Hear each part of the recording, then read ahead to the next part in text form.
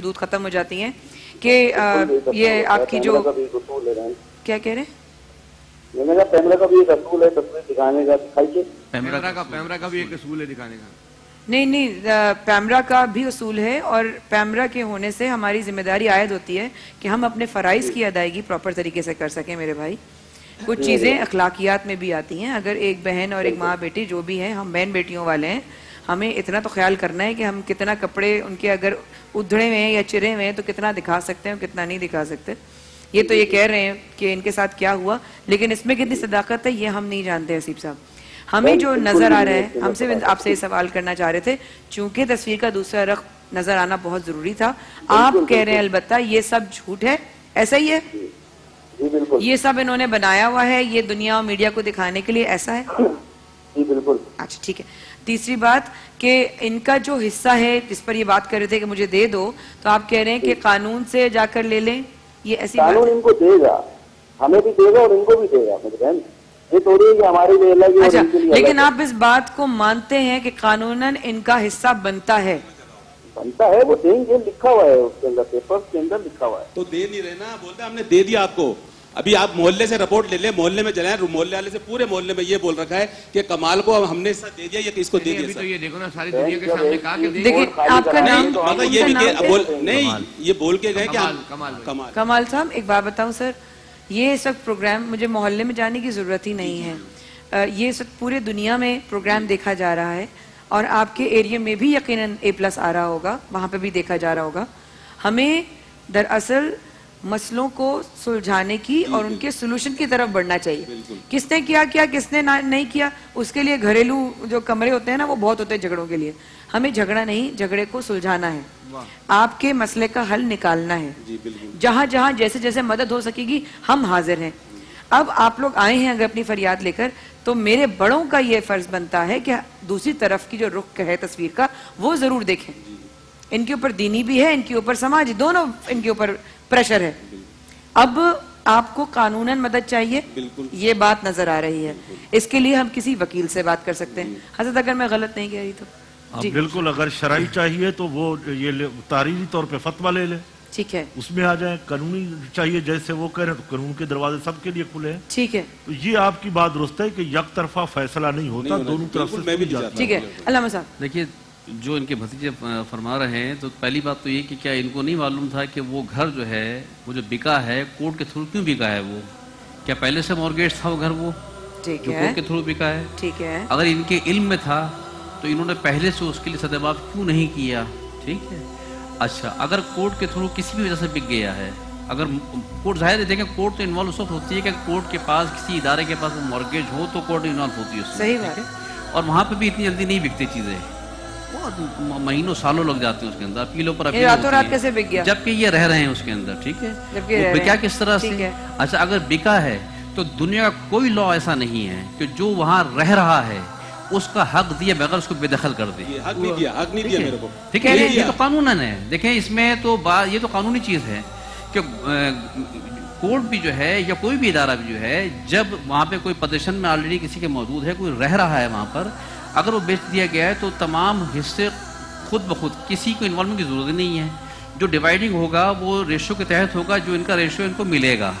इनको वो रेशो दिए बगैर इनको ये मुझे नहीं मालूम मैं क्या कहूँ उसके अंदर लेकिन बात है कि कोई कानून इस बात की इजाज़त नहीं देता जो ज़ाहिर सियाक व सबाक नज़र आ रहे हैं उसकी रोशनी के अंदर कि हक दिए बगैर हाथ पढ़ के बाहर निकाल दिया जाए और वो जिसमें कोर्ट इन्वॉल्व हो रही हो। ऐसा तो नहीं होता। जो जितनी सारी बातें हैं लग ये रहा है कि नहीं मालूम किसी जंगल में कोई वाक़ हुआ है ना वहाँ कोई कानून है ना कोई पुलिस है ना कोई कचहरी है कुछ भी नहीं है कोई लगता तो ऐसा है। मगर समनाबाद तो एक आबादी इलाका है जहाँ बड़े बाहोश लोग रहते हैं कि ये वाक़ा क्या हो गया बहरहाल ये कि ये तमाम चीज़ें ऐसी हैं कि ना हम हसीब साहब की बात को जो गुफ्तु आ रही है उसको सौ फ़ीसद नहीं कर सकते वो सही कह रहे हैं। अच्छा जाते जाते आखिरी सवाल आपसे करूँ। कथा कलामी बहुत नाजुक वक्त की बड़ी कमी लेकिन एक सवाल आप लोगों से करना चाहूँगी कि दीनी पहलू से अगर इनका हक कोई मार ले या इनका हक बकौल इनके जो मारा जा रहा है वाकई सच में मारा जा रहा हो तो उस वक्त इनके लिए क्या आसानियाँ हैं और जो मार रहा है उसके लिए क्या मुश्किल हर दो सूरतों में हर दो सूरतों में अगर इनका हक मारा जा रहा है अखलाकी तौर पर भी और शरी तौर पर भी बारगाह इलाही में जवाब दे हैं वो सब। ठीक बेशक है। देखिए अच्छा बात एक है कानून। मान ले कि कानूनी हवालों से इनके सारे मामला पूरे हो चुके हैं कुछ अखलाकियात अखलाकियात भी होती हैं। बेशक। अखलाकी तकाजे भी होते हैं। बिल्कुल। है ना? तो वो तमाम मामला है मुझे नहीं मालूम कि तमाम आयदा का रवा जो है क्या है? और बहुत सारे हैं वो यहाँ मार तक बात को तो ना आने देते। गुनाह है। जी मुझसे मैं यही अर्ज़ करूँगा कि ये बहुत बड़ा जुल्म है अगर कोई किसी का हक मार रहा है तो मारना नहीं चाहिए। बैठ के बातचीत के ज़रिए से उलमा की मौजूदगी में यकीनन हर मोहल्ले में उलमा किराम मौजूद होते हैं मुफ्तियान किराम मौजूद होते हैं सुलझे हुए पढ़े लिखे लोग मौजूद होते हैं उनको बुला के बैठ के अपने मसले का हल निकाल लें। और तरीका शुक्रिया। हाँ जी यही यहाँ पर मुझे मेरे जो वाली साहब की तीन जायदाद है ना वो शरई हक उसका मुझे हिस्सा मिलना चाहिए। बिल्कुल मिलना चाहिए क्योंकि आपके पास शरण और कानून हक दोनों हैं। मैं वफे पे जाते हुए एक बात अर्ज़ करना चाहूँगी।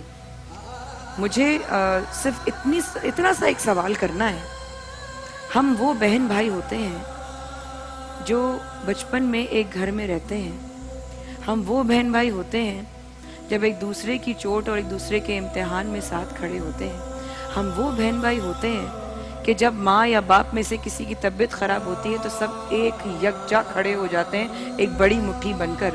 हम वो बहन भाई होते हैं जो अपने माँ बाप के जाते ही सिर्फ़ एक थोड़ी सी ज़मीन के लिए अपने खून और अपने जिगर के टुकड़ों और अपने हिस्सों से ऐसे खड़े हो जाते हैं, जैसे हमने वो ज़मीन हमारी बख्शिश करवा देगी, जैसे वो ज़मीन हमारी कब्र में काम आएगी, जैसे वो ज़मीन हमें आखिरत में हमारे लिए आसानी करेगी। सिर्फ़ ज़मीन के लिए, दौलत के लिए, जेवर के लिए। यकीन माने, इनका सिर्फ़ दुनियावी वज़न ज़्यादा है। अगर असल में इनका वज़न देखा जाए तो खून के रिश्तों से बड़ा वज़न और किसी चीज़ में नहीं होता। अफसोस होता है मुझे कि सगे बहन भाई सिर्फ़ ज़मीन, जर के लिए एक दूसरे की जान के दुश्मन, एक दूसरे की इज़्ज़त को इस तरह पामाल करें। अफसोस है। बहुत अफसोस है। इस वक्फे के बाद आते हैं। बहुत अफसोस। बहुत अफसोस।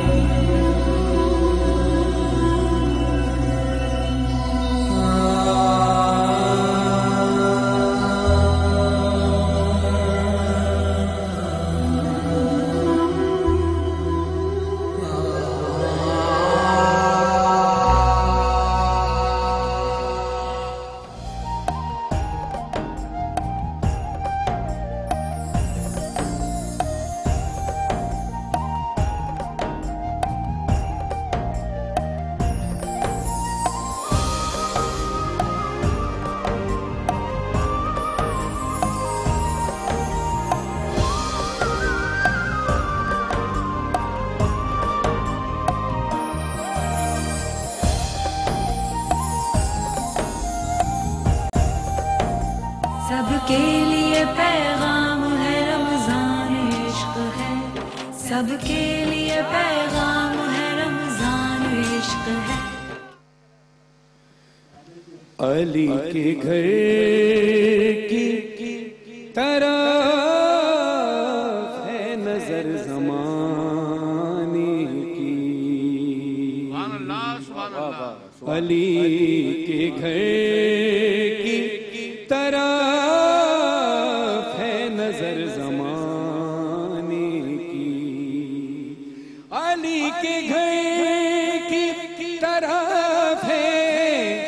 नज़र जमाने की। खबर जो पाई है माला हसन के आने। खबर जो पाई है माला हसन के आने की। मुरीद हो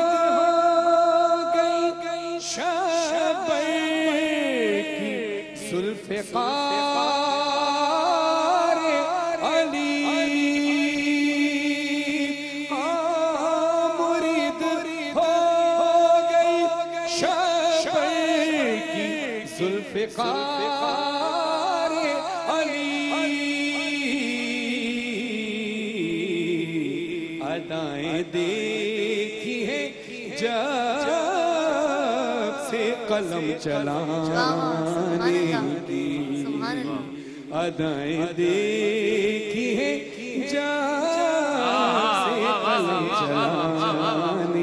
दी और शेर समाज कीजिएगा अभी मैं अभी मैं जश्न इमाम हसन में आया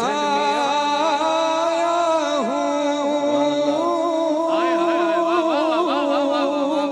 अभी मैं जश्न इमाम हसन में आया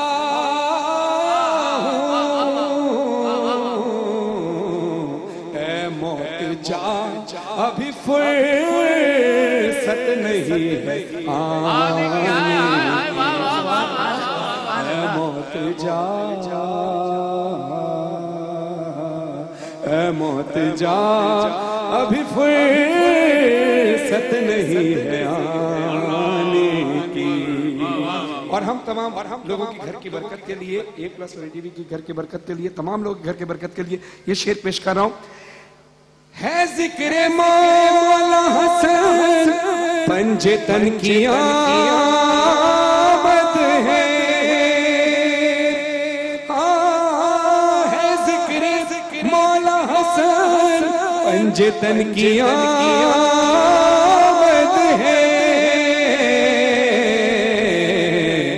बदल रही है फजाएँ गरीब खाने।